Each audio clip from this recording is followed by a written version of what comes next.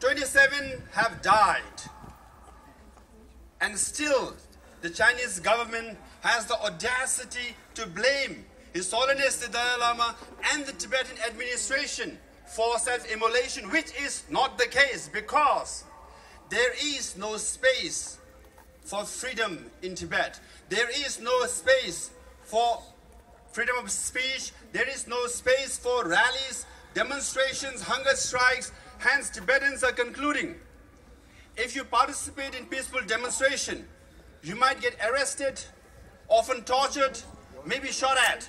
Because this year alone, eight Tibetans were shot dead for participating in peaceful demonstration. That is why Tibetans are choosing a drastic, sad, tragic action of self-immolations. Unfortunately, the intention and the motivation of Tibetans is to highlight their suffering. Their intention also is not to harm anyone.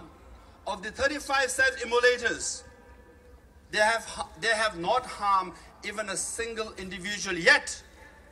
The Chinese government calls self-immolation a violence, a terrorist act, which is not the case.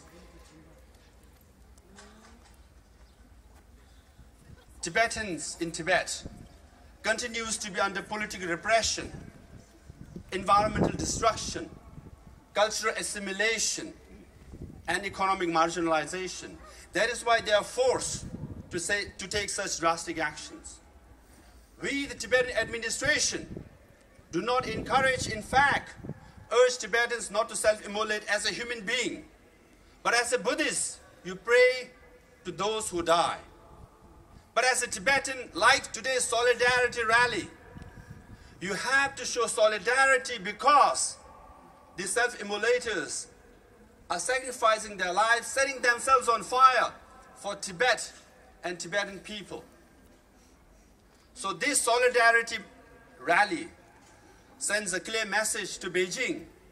Yes, Austria and people of Austria and Europe regard economic rights as important, but equally, human rights is important.